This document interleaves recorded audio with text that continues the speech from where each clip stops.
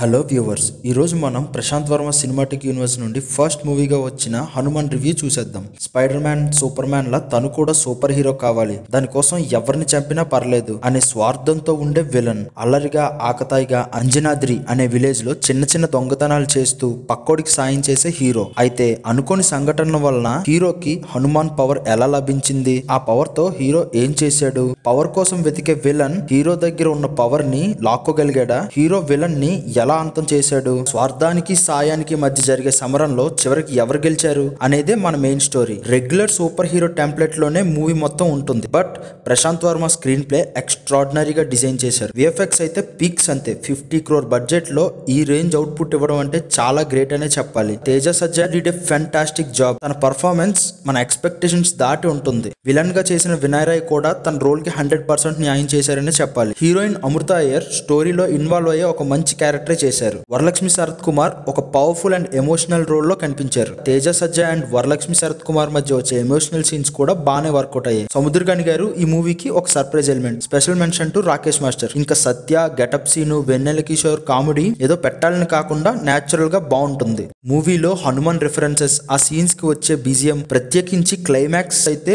Pure goose bump stuff అంతే. రవితేజ గారి voice over ఈ మూవీకి యాడెడ్ అడ్వాంటేజ్ ఫస్ట్ హాఫ్లో ఎంటర్టైన్మెంట్ సెకండ్ హాఫ్లో ఎమోషన్స్ని బ్యాలెన్స్ చేయడంలో Prashanth Varma two hundred percent success అయ్యారనే చెప్పాలి. ఇంకా నెగిటివ్స్ విషయానికి వస్తే అక్కడక్కడ మూవీ గ్రాఫ్ కొంచెం స్లో డౌన్ అయినట్టు అనిపిస్తుంది. ఈ సంక్రాంతికి ఫ్యామిలీతో హ్యాపీగా వెళ్ళి చూసే movie Hanuman. Thanks for watching subscribe చేసి వెళ్ళండి మామ.